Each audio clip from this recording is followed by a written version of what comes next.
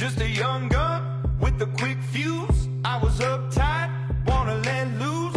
I was dreaming of bigger things and wanna leave my old life. É um clube fundado em 2021, um clube empresa, que originou-se da ideia de três sócios, é, alguns deles do futebol e outros de fora do futebol, mas é a ideia de fazer alguma coisa única para o futebol, transformando pessoas e criando um ambiente muito favorável para o desenvolvimento de atletas. A gente tem aqui a possibilidade de lidar com o desenvolvimento de uma forma multidisciplinar. É, o que faz com que a gente consiga trabalhar de uma forma muito mais potente o desenvolvimento humano deles.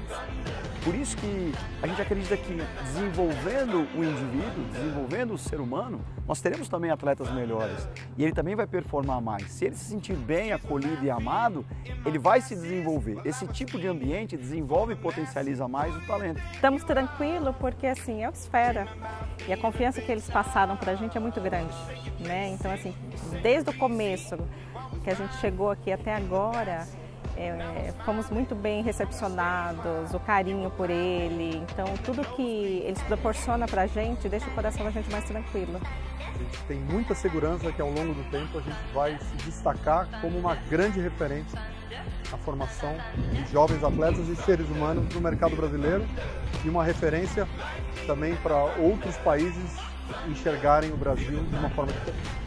A gente foi convidado há uns seis meses atrás e foi falado para a gente uma proposta de, de negócios né, do atleta e foi tudo cumprido.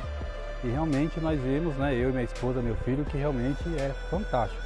Esfera para mim representa legado, representa sonho, representa transformação, representa impacto positivo. Ah, uma estrutura de alta qualidade, de um clube gigante, que já nasceu gigante. Na minha opinião, é uma estrutura incrível, né? que se você tiver foco e determinação, você consegue qualquer coisa nesse clube.